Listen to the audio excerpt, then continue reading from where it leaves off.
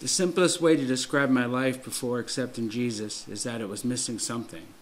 I didn't know what it was, but I definitely thought it was material. I grew up very poor in a very dysfunctional family where my father left when I was young. Now I have a beautiful wife and three magnificent daughters. But I was still missing the big picture and thought what they needed more was material things. I thought that by working 70 to 80 hours a week trying to provide for them, that I was doing what I was supposed to be doing. I always thought selfishly, trying to buy the next thing that would make me happy, but it never seemed to. I never realized how fortunate I was with my family and always felt I was missing something.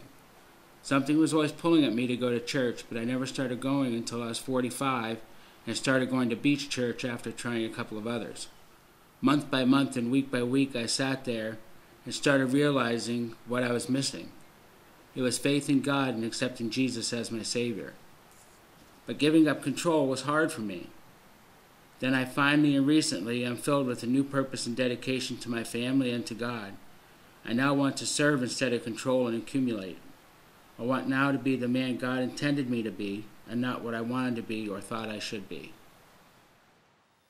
Well, Terry, just like we talked about, you know, God come came to redeem and restore all things, and He is working all things for His glory and purpose. And we just got to accept this incredible gift, and you've done that. And today is just a demonstration of that gift of the life He's given you. So, Terry, it is my joy and honor to baptize you in the name of the Father and the Son and the Holy Spirit, buried with Him in baptism, risen to walk in a new life. Thank you.